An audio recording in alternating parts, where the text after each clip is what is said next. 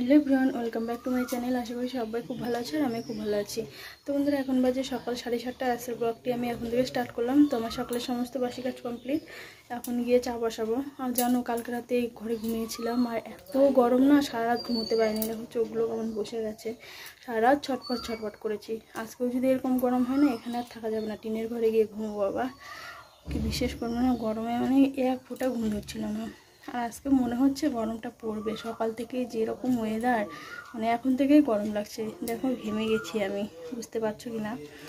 তো গরম লাগলে আমার মানে মুখটাই বেশি ঘামে। সবথেকে বেশি মুখেই গরম লাগে, আর মুখ ঘেমে লাল টকটকা হয়ে যায়। ভালো লাগে না গরমের দিন। সত্যি কথা বলতে আমার শীতের দিনেই ভালো লাগে। গরমের দিনে এক ফোঁটাও ভালো লাগে না।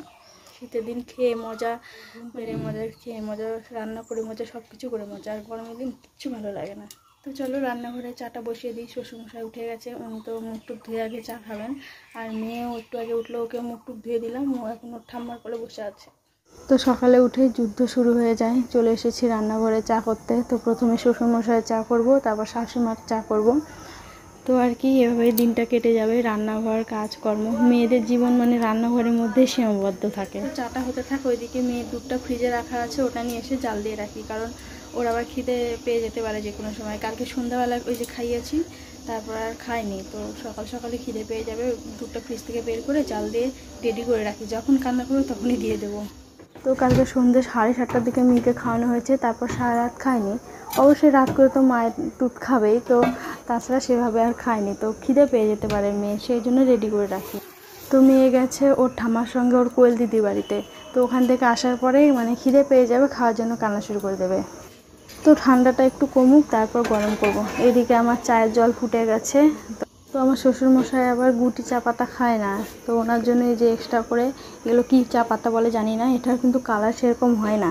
চা মানে ভালো করে জলটা ফুটে, তারপর চা পাতাটা দিয়ে মানে ইয়ে করতে হয় ঢেকে দিতে হয় কিছুক্ষণের জন্য। তো চা হয়ে গেছে ফ্লাক্সে এখন ঢেলে নেব। তারপরে যে শাশুড়িমা চাটা বসিয়ে দিলাম। এদিকে মেয়ে দুধটাও গরম করে রেখে দিলাম। ওর ঠাম্মার করেছিল যেই আমাকে দেখতে পেয়েছে আমার কাছে আসার জন্য কি কান্না। আমার চা হয়নি উনি এসে হাজির। তো ভাবছি সকাল সকালে খাইয়ে দিই। এখন খাওয়ালে কি দুপুরে খিচুড়িটা তাহলে টাইম মতো খেতে পারবে না। তো মানে একটু বেলা করে খাওয়ালে খিচুড়িটা খেতে খেতে আরও দেরি হয়ে যায় আর স্নান করাতেও দেরি হয়ে যায়। কারণ খাওয়ার সময় দেখো তো গোটা হাত পা লেটিয়ে নেয় খিচুড়ি খাওয়ার সময়। তো মেয়েকে খাওয়াতে বসলাম আজকে খাবারটা ঘনই হয়ে গেছে। মেয়েকে খাওয়ানোর পর এবার বিছানাটা গুছিয়ে নিচ্ছি। আগে আমার হাজব্যান্ড তাও বিছানা টিছানা গোছাতো। আর এখন বাড়ির কিছু কাজ করতে চায় না, জানো? মানে নতুন দোকান খুলেছে, আবার ডিউটি করে, বলে আমি দুই, দুটা জায়গা সামলাচ্ছি, আমি বাড়ির কোনো কাজ করতে পারব না মানে বিশাল কিছু। আর আমি বাড়িতে যে এত কিছু করি, আমার আর রেহাই নেই। গরমটা সত্যি যা পড়েছে না, বলার মতো না। তো বিছানা গোছানো হলো, আমার হাজব্যান্ড সেই অনেকক্ষণ উঠেছে, জানো? আমাদের ওঠার আগে। উঠে কোথায় যে গেছে? বাড়িতে একবার এসেছিল ব্রাশ নিয়ে আবার বেরিয়েছে। তাও এক আধ ঘণ্টা হতে চলল। তো যাজ্ঞা কারণ এখন ভাত উঠাবো, কারণ বেলা হয়ে যাচ্ছে। ওনার আবার ডিউটিতে বেরোনোর সময় হয়ে যাবে। ভাত না হলে চিৎকার করা শুরু করে দেবে। তো যাই, রান্নাঘরে ফটে ফটে রান্না করে নিই। আর মেয়ে গেল ঠাম্মার সঙ্গে ও কোয়েল দিদি বাড়িতে ঘুরতে? ঘোরার সময় হয়ে গেছে না সকালে? তো মেয়েকে আজকে খাইয়ে দাইয়ে পাঠিয়েছি না, আজকে আর কোনো ঝামেলা করবে না, অনেকক্ষণই থাকবে। তো বাড়ি এসে আবার ঘুম পাবে, এই সময়টা আবার ঘুমোই তো মানে সকালে কিছুক্ষণ খেলার পর খাওয়া দাওয়া করে আবার ঘুমিয়ে পড়ে। তো আসে, আসার পর ঘুমের জেদ করতে পারে। তো আমি ফটাফট ভাত রান্না করে রাখি।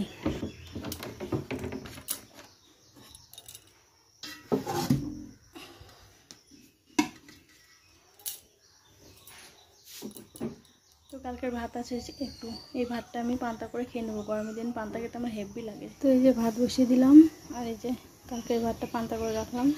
এবার ডালটা বসিয়ে দিই।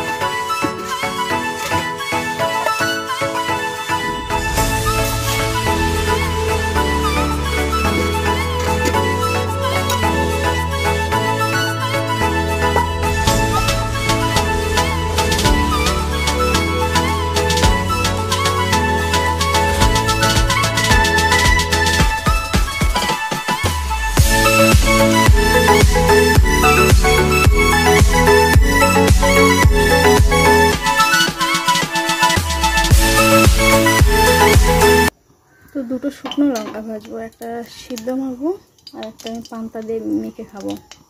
আর আজকে ডিমের অমলেট করব না, আজকে ডিমের পোচ করব ভাবছি। শুকনো লঙ্কা ভাজা হয়ে গেছে, এবার ডিমের পোচটা করছি। একটু লবণ দিয়ে নিই, হালকা করে করতে। ভালো লাগে খেতে, আমিও খুব পছন্দ করি, আমার হাজব্যান্ডও খুব পছন্দ করে দিয়ে দিই। তো আমার সকালে রান্না কমপ্লিট রান্না করে ঘরে এলাম, হাওয়া খাচ্ছি। যা গরম পড়েছে না, কি বলব? তো ওইদিকে আমার হাজব্যান্ড স্নান করছে ও স্নান হয়ে গেলে আমরা একসময় খেয়ে নেব। খিদেও পেয়ে গেছে বসে জানো? সকালে খাওয়ার সময় পাই না তো, আর বেলা হতে হতে খিদে পেয়ে যায়। তো এখন প্রায় পৌনে দশটা বাজে, খিদেতে পেট চোচো করছে। তো বললাম, তাড়াতাড়ি স্নান টান করে নাও, খিদে পেয়ে গেছে তো স্নান করছে। তো এই যে আমরা খেতে বসে গেছি, এটা হচ্ছে আমার হাজব্যান্ডের খাবার, আর এটা হচ্ছে আমার। তো খাওয়া দাওয়া করে আমার হাজব্যান্ড বেরিয়ে গেল ডিউটিতে আমি এবার বাড়িতে গিয়ে টুকিটাকি কাজগুলো সেরে ফেলি।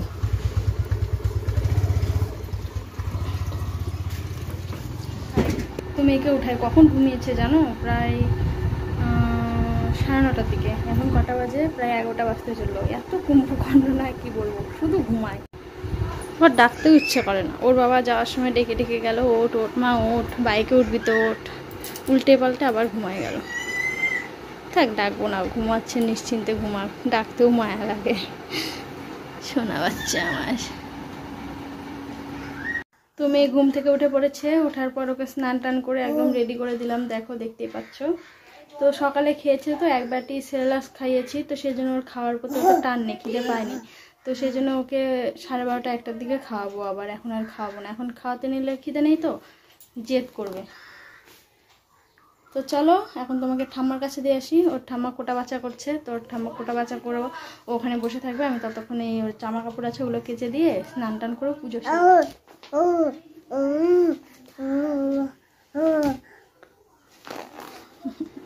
তোমার স্নান পুজো হলো, স্নান টান করে পুজো টুজো দিয়ে বসলাম আর মাথায় তেল দিয়ে এসে স্নান করেছি, জানো? কালকে রাতে ভালো ঘুম হয়নি না গরমে, সেজন্য মাথাটা প্রচণ্ড ব্যথা করছিল, তাই মাথা তেল দিয়ে ভালো করে ভিজিয়েছি আজকে। আমি সাধারণত শীতে কি, গরমে কি, গরমকালে কি মাথা ভিজাইতে মাথা চুল ভেজালে মানে শুকাতে চায় না, আর গরমের দিন চুল ভেজালে চুল ছেড়ে দিতে ইচ্ছে করে না। আমার হেয়ার ড্রায়ার আছে, তবুও ইচ্ছে করে না।